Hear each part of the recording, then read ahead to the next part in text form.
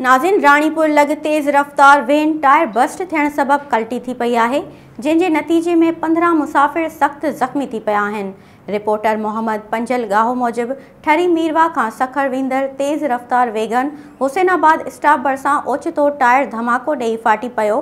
vegan driver के control का निकिरी वही कल्टियूं खाई खाई में किरी पई जंहिं जे नतीजे में वेगन सवार पंद्रह का मथे मुसाफ़िर सख्त ज़ख़्मी थी पाया जड॒हिं त ज़ख़्मी मुसाफिर के फौरी तौर ते तिबी इमदाद लाइ ख़ैरपुर ऐं कोटडिजी अस्पताल ॾां मुंतकिल कयो वियो